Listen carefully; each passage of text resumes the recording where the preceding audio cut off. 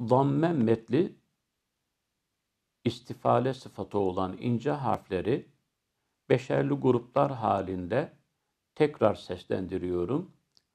Bundan maksadımız zamme sesini bütün hepsinde, bütün ince harflerde aynı tonda verebiliyor muyum, veremiyor muyum onu kontrol etmek. İkinci maksadımız hepsinde metti tabii oluşuyor. Bir elif miktarıdır. Bir elif miktarında mutabakat sağlayabiliyor muyum?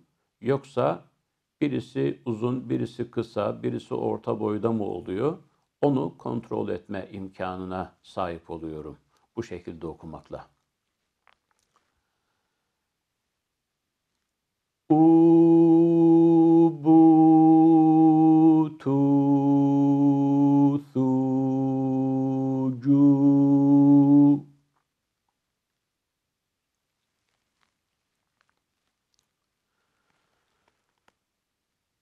حود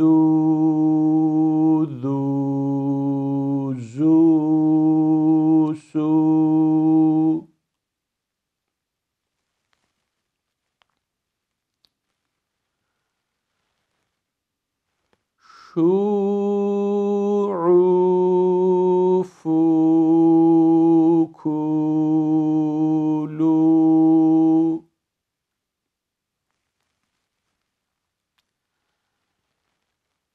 more